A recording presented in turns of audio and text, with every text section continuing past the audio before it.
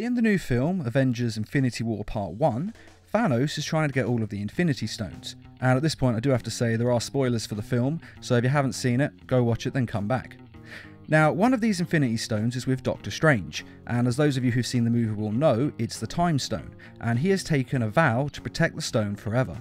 He even says in the film that he can't destroy it as part of this vow, he must preserve it, and that he would sacrifice both Spider Man's and Iron Man's life in an instant to save it. And then he hands it over to Thanos 20 minutes later. Now, it's set to look in the film like he gave the stone to Thanos to save Iron Man's life, and Thanos also thinks this is the case when he makes the trade with Doctor Strange then saying after they've made the trade, it was the only way to Iron Man. Again, this is meant to look like he's saying it was the only way to save you to Iron Man, when in fact he's talking about the only way to defeat Thanos.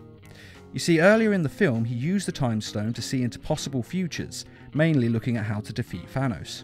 And he goes through millions of alternate futures, but only manages to find one scenario in which Thanos is defeated. The group then decide to use this plan, as of course, if it's the only way to defeat him, it's the best plan to go with.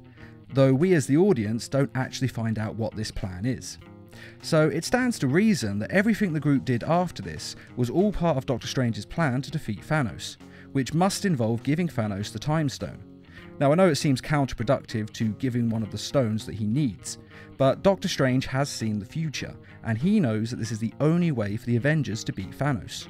So Doctor Strange wasn't making a dumb decision and sacrificing the Time Stone and universe just for Iron Man's sake. It's all part of a larger plan. Now, what exactly that plan is and how this carries on in part 2 is anybody's guess. But I think without a doubt that they need Thanos to have the Time Stone. Now, it's possible that I could be wrong, but it does make sense. After all, they've given Thanos the Time Stone, and we know that he's going to be beaten in the second Infinity War film. So why else would Doctor Strange give it to him if it wasn't going to eventually lead to his downfall?